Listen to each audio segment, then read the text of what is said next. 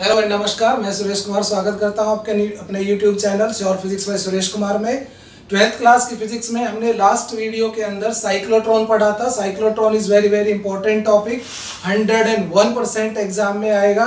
उसे आप अच्छे से प्रिपेयर करें। और कोई भी बोर्ड हो, हर बोर्ड में ये फाइव मार्क्स के क्वेश्चन में आता है। कई बार पार्ट्स में आ जाता है। तो लास्ट वीडियो मैंने आपको बताया था। आज हम अपना नेक्स्ट टॉपिक शुरू करने जा रहे हैं। वो है ampere circuital law ampere circuital law is again very important topic तो ये लॉ क्या कहता है? इस लॉ की एनालॉजी आप थोड़ा बहुत इलेक्ट्रोस्टैटिक्स में गॉस थ्योरम से कर सकते हैं। जैसे गॉस थ्योरम थी इलेक्ट्रोस्टैटिक्स में कुछ उसी तरह से ये यहाँ पर एम्पियर सर्किटल लॉ है। गॉस थ्योरम किसी भी तरह के चार्ज डिस्ट्रीब्यूशन का इलेक्ट्रिक फ़ील्ड डिटरमाइन करने के लिए एप्लीकेबल होती थी, क्योंकि कूलम्स लॉ सिर्फ़ पॉइंट चार्ज के लिए एप्लीकेबल था। गॉस थ्योरम हर तरह के चार्ज के लिए एप्लीकेबल थी। बायट सेवर्ट्स लॉ एक स्मॉल करंट एलिमेंट के लिए एप्लीकेबल था तो ये किसी भी तरह के करंट डिस्ट्रीब्यूशन के लिए एप्लीकेबल हो सकता है, जिसे हम कहते हैं ampere circuital law. Ampere circuital law क्या कहता है? Ampere circuital law according to this law line integral of magnetic field Gauss theorem में था surface integral of electric field इसलिए उसको हम लिखते थे E dot D S surface integral था तो ई डॉट डी एस और ये है line integral of magnetic field तो B dot D L line integral, ये इंटीग्रेशन है अराउंड द लूप इस सर्कल का मतलब है around the loop line integral of magnetic field around any loop is mu naught times उसमें था one upon epsilon naught times इसमें है mu naught times the total current threading the loop ये क्या कहता है? Line integral of magnetic field around any closed loop line integral of magnetic field around any closed mu naught times. Mu naught times the total current threading the loop. यानी के किसी भी loop में हम कोई भी लूप ले, जैसे हमने ये लूप लिया, ये कोई भी करंट कैरिंग कंडक्टर है स्ट्रेट करंट कैरिंग कंडक्टर है मान लो, इसमें आई करंट फ्लो हो रहा है ठीक है? और हमें ये पता है कि स्ट्रेट करंट कैरिंग कंडक्टर का जो मैग्नेटिक फ़ील्ड होता है उसके अराउंड उसमें सर्कुलर फ़ील्ड लाइंस बनती है। ठीक है? सबका सेंटर वायर पे होता है और सर्कुलर फ़ील्ड लाइंस बनती है अलग अलग रेडियस की।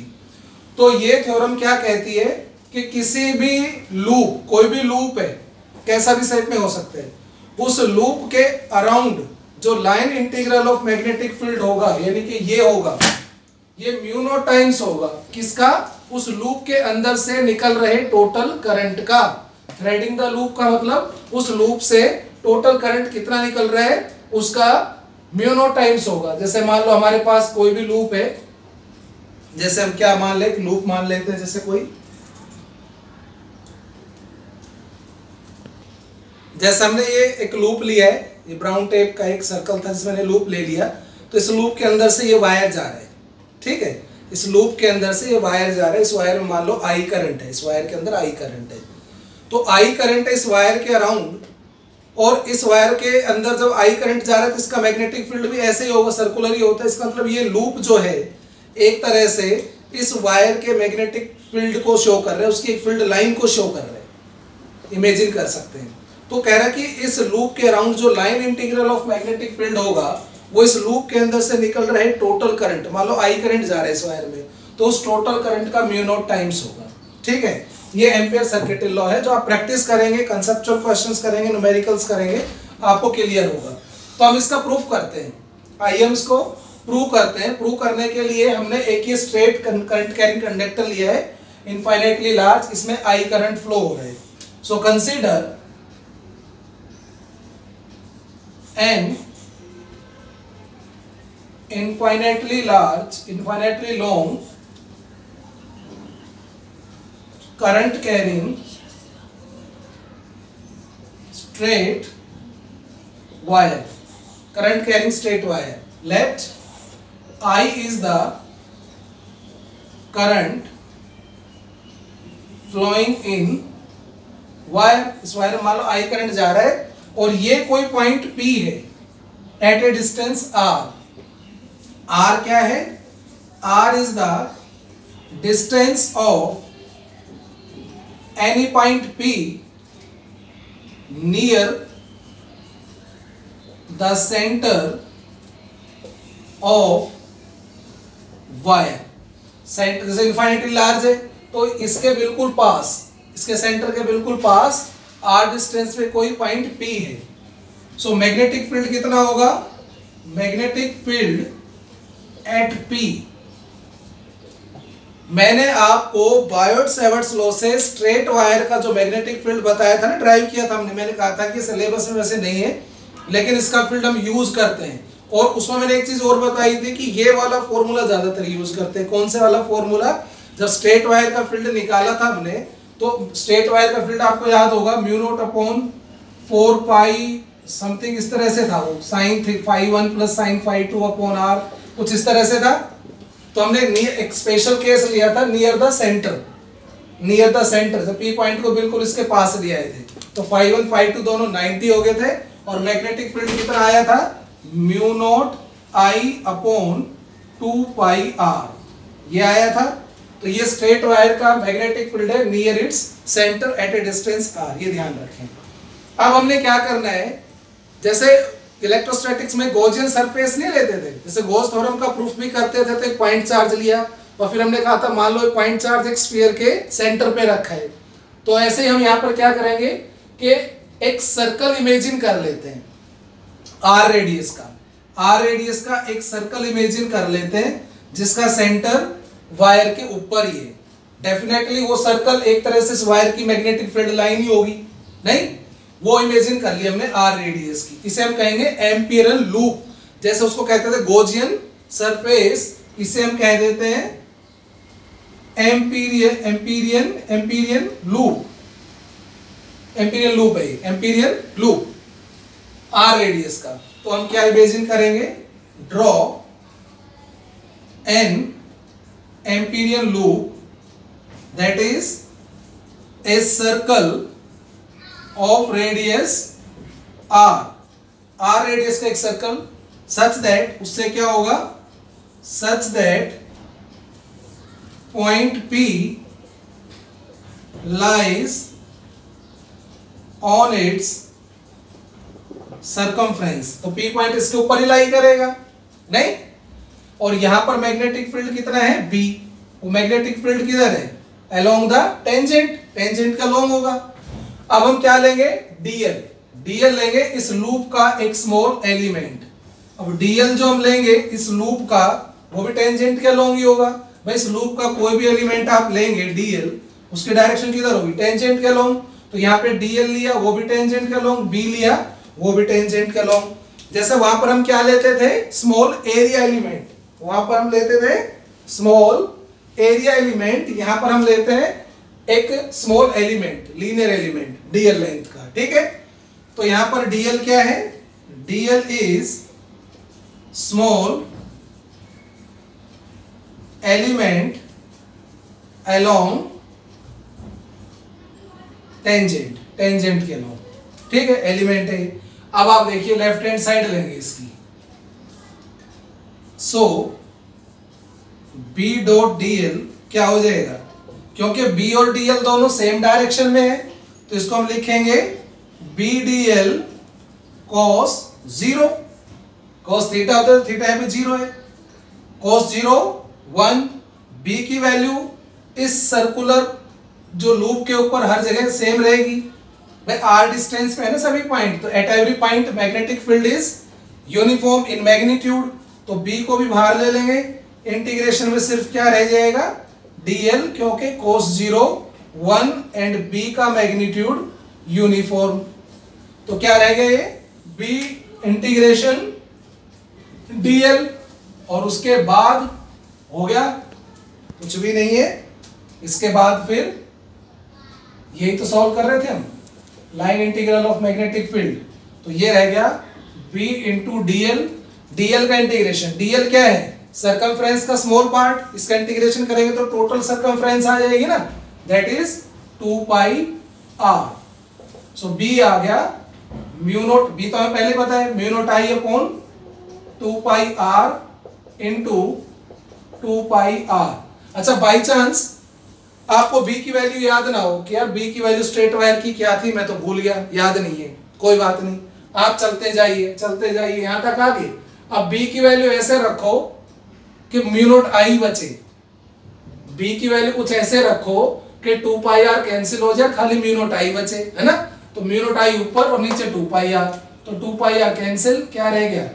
म्यूनोट आई हो गया proof line integral of magnetic field around any close loop is mu naught times the total current threading the loop इसमें एक चीज़ आप हमेशा याद रखें, यहाँ पे जो आई है ना, ये क्या है? टोटल करंट जैसे वहाँ पे क्या बोलते थे हम? टोटल चार्ज तो चार्ज में भी ए पॉइंट चार्ज और a number of point charges या कोई भी चार्ज डिस्ट्रीब्यूशन तो यहाँ पर जो आई है, ये ध्यान रखें, ये क्या है? टोटल करंट जो करंट टोटल लूप में से जा रहा है, वो है।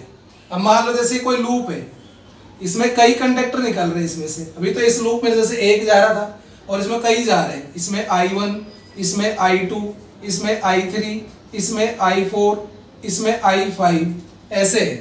तो कैसे लिखेंगे हम? Line integral of magnetic field is mu naught times total current जो इसके अंदर से जा रहे हैं।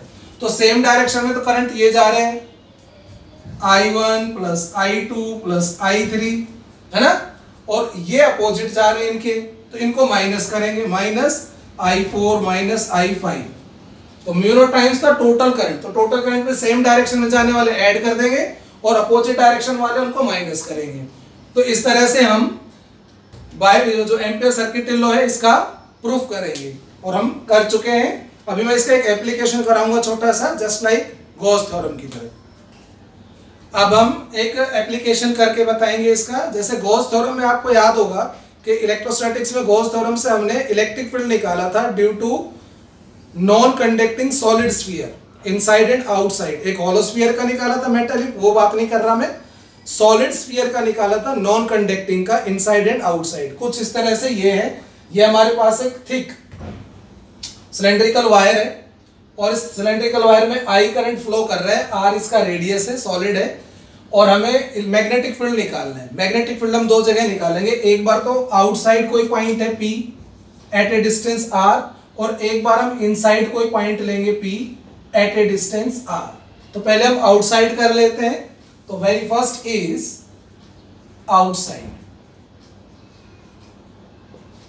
let R is the radius of wire and I is the total current flowing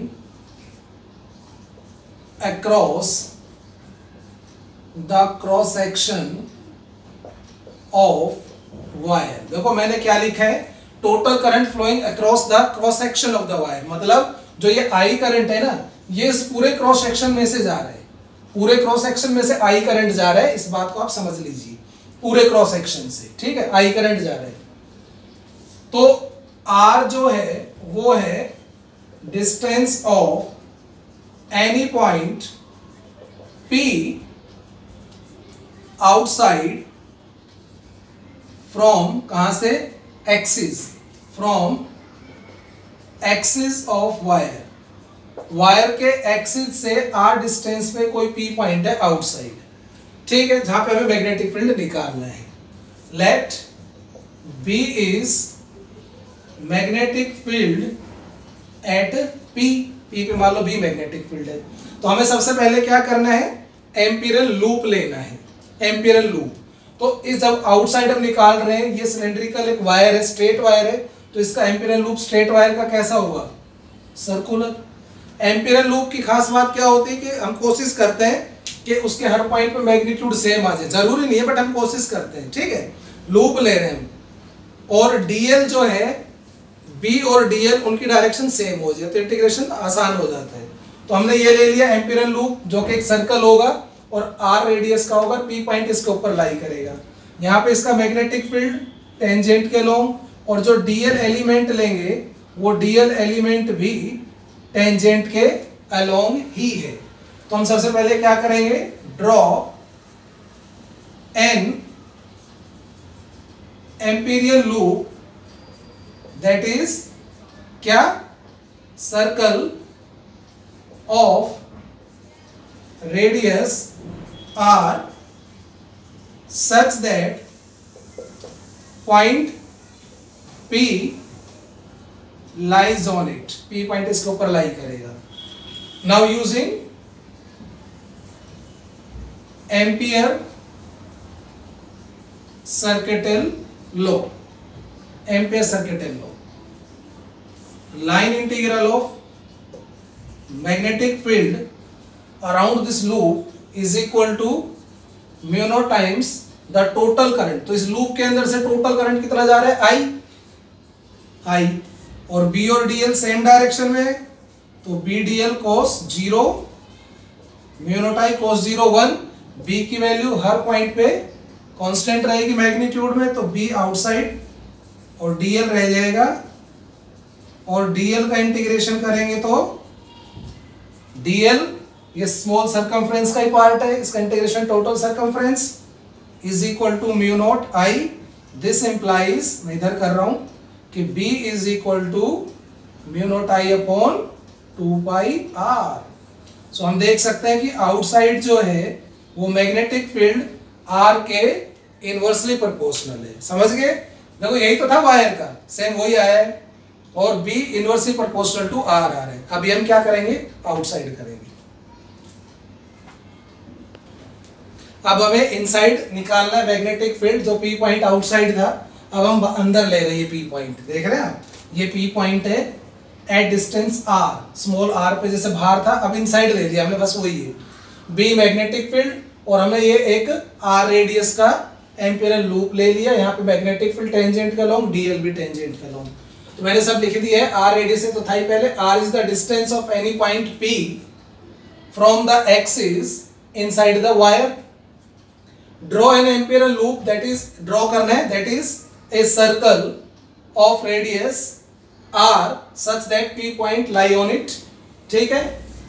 B suppose magnetic field है यहाँ पे एंड आई डैश देखिए मैंने करंट लिया है I dash is the total current threading the loop क्योंकि loop ये है।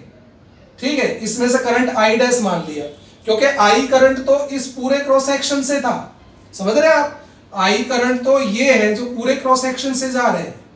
आर कैपिटल आर रेडियस के क्रॉस सेक्शन से जो जा रहे हैं, वो है आई हमें तो वो लेना है जो इस लूप के अंदर जा रहे हैं।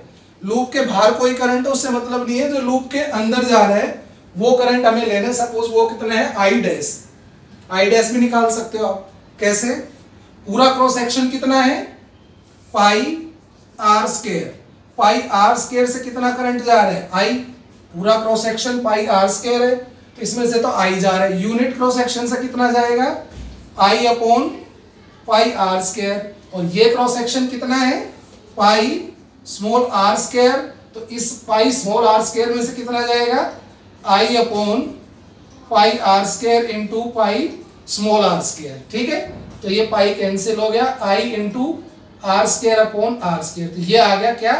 आई डैश ये आई डैश आ गया, जो इसमें से करंट जा रहे हैं। ओके एम्पियरन सर्किटल लॉ लगाएँगे। Using Ampere circuital law line integral of magnetic field is mu times I dash देखो, मैंने म्यू नोट नहीं लिया। म्यू नोट किसका होता है? फ्री स्पेस या वैक्यूम या एयर का? वो तो बाहर है, लेकिन अंदर तो सॉलिड है, कोई और मीडियम है तो उस मीडियम की परमिएबिलिटी और आई डैश ये करंट जो इसके अंदर से जा रहे हैं। समझ गए आप? तो यहाँ से सॉल्व करेंगे b d l cos zero क्योंकि ज़ीरो ही रहेगा थीटा तो और mu times I dash I dash की value I r square upon capital r square b हम आउटसाइड ले सकते हैं, क्योंकि कांस्टेंट रहेगा हर पॉइंट पे मैग्नीट्यूड में। Cos ज़ीरो वन इंटीग्रेशन में क्या रह जाएगा? dl mu I into r square upon capital r square इसको फर्दर हम सोल्व करेंगे तो फर्दर सोल्व करने पे ये क्या आ जाएगा? b dl का इंटीग्रेशन टू पाई आर क्योंकि ये इसका स्मॉल पार्ट है टू पाई आर आ जाएगा। Is equal to mu I r square upon capital r square एक आर कैंसिल हो जाएगा। So b comes out to be mu I r upon two pi r square ये magnetic field आ गया. Mu I r upon two pi r square यहाँ पर आप देख सकते हैं magnetic field directly proportional to r है. ये सब तो कांस्टेंट है. तो b directly proportional to r मतलब सेंटर से आर जितना बढ़ेगा मैग्नेटिक फ़ील्ड बढ़ता जाएगा. यानी कि व्हेन आर इज़ ज़ीरो तो मैग्नेटिक फ़ील्ड भी ज़ीरो यानी कि एक्सिस के ऊपर मैग्नेटिक फ़ील्ड ज़ीरो फिर एक्सिस से जितना हम बढ़ेंगे सरफेस की तरफ़ मैग्नेट आर बढ़ता जाएगा magnetic field also goes on increasing increasing till the surface till the surface in small r किसके इक्वल हो जाएगा? कैपिटल आर के। तो वहाँ पे मैक्सिमम होगा। उसके बाद हम आउटसाइड आ जाएँगे और outside magnetic field inversely proportional to r है। उसके बाद आर बढ़ेगा तो फिर घटना शुरू हो जाएगा। तो इसका ग्राफ हम प्लॉट कर सकते हैं। हमने गॉस थ्योरम में भी किया था। ग्राफ इसका, ये, इधर हमने क्या लिया? जैसे इधर हम ले रहे हैं डिस्टेंस फ्रॉम एक्सिस यानी के आर और इधर हम ले रहे हैं मैग्नेटिक फ़ील्ड यानी के बी तो शुरू में तो ये रहेगा भाई सेंटर पे जैसे आर ज़ीरो तो आर ज़ीरो तो मैग्नेटिक फ़ील्ड भी ज़ीरो उसके बाद r increasing b also increasing जब तक हम कहा है? इनसाइड तो जब तक इनसाइड है तो आर इंक्रीजिंग बी इंक्रीजिंग तो आर बढ़ रहा है तो बी भी बढ़ रहा है. और ये कब तक होगा? Till small r is equal to capital r surface तक. सरफेस के बाद, क्योंकि यहाँ तक तो क्या है? B directly proportional to r और इसके बाद इसके बाद b inversely proportional to r हो जाता है। इसके बाद आप आर बढ़ाएँगे तो ये इस तरह से आएगा। इस तरह से। ये इसके पैरेलल छोड़ देना है, क्योंकि टच नहीं करना, ये इन्फिनिटी पे जाके मिलेगा। तो यहाँ पर b inversely proportional to r ये बी इज़ इक्वल टू यहाँ पर मैक्सिमम होगा सरफेस पे, उसके बाद ये goes on decreasing I hope आपको ये समझ में आ गया होगा। आप इसकी प्रैक्टिस करें ज़्यादा से ज़्यादा। कोई भी डाउट हो, आप पूछ सकते हैं न्यूमेरिकल्स करें इसके ज़्यादा से ज़्यादा। नेक्स्ट वीडियो में हम एक और इम्पोर्टेंट टॉपिक के साथ हाजिर होंगे। तब तक आप इसको अच्छे से रिवाइज करें, समझें चैनल को ज़्यादा से ज़्यादा शेयर सब्सक्राइब करना ना भूलें बेल आइकन दबाना ना भूलें। Thank you